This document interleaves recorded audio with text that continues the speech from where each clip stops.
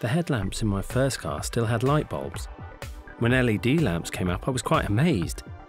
But what is this new laser light supposed to be? Sounds rather like science fiction, doesn't it? It was science fiction, but it isn't anymore. Wondering what this is? It's the first experimental setup from the BMW lab to prove the possibility of integrating laser technology into the BMW headlamp. And this is the final result. It's the latest addition to BMW's flashy LED light design.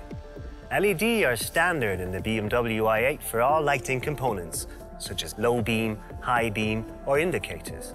The optional high beam headlights with laser technology now ups the ante when it comes to comfort and output. While this unit creates a light pleasant to the human eye, it produces a focused light spot with twice the visibility range of a conventional light. Its brightness is five times higher than its predecessors. At the same time, it uses less energy and its light-emitting surface is 100 times smaller.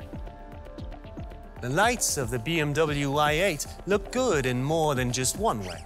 Just check this design. The optional high beam headlights with laser light technology include a typical BMW i U-shaped frame from which the running lights and the built-in indicators are operated. A second, wider light frame surrounds the innovative laser light unit and gives it a feel of three-dimensionality. This light concept unmistakably looks and feels like BMW i8. On top of that, the BMW i8 is the first mass production car to offer this new laser lights technology.